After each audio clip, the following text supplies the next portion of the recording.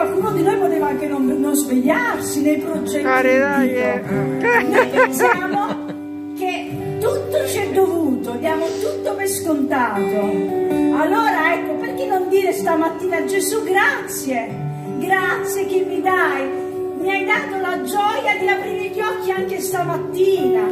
Guardate che il Signore ci tiene in vita, minuto per minuto, se io sono qui e mi muovo, esisto, mi rapporto con voi, è perché il Signore mi rigenera ogni secondo.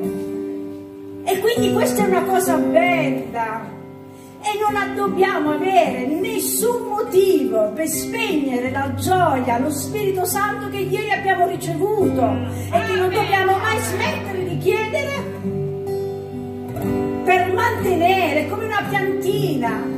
Diceva ieri Padre Roberto che quando ci allontaniamo dalla preghiera facciamo poi fatica a ingranare.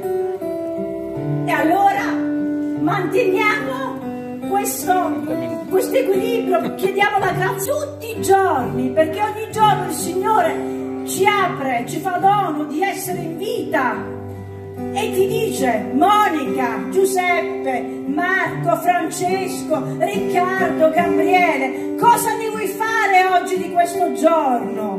Il Signore ci lascia liberi, ma usiamo questa libertà per rendere grazia, lode, gloria, potenza, onore a Dio perché noi apparteniamo a Dio.